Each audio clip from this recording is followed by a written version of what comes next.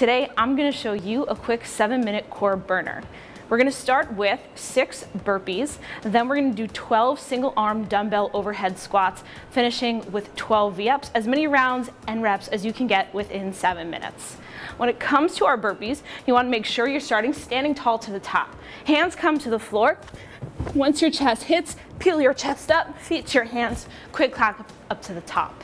Then you're gonna grab your dumbbell, you're gonna punch it straight up overhead, from here, feet shoulder width, you're gonna squat down, stand up. Do all six reps, switching hands, make sure to finish six on the other side.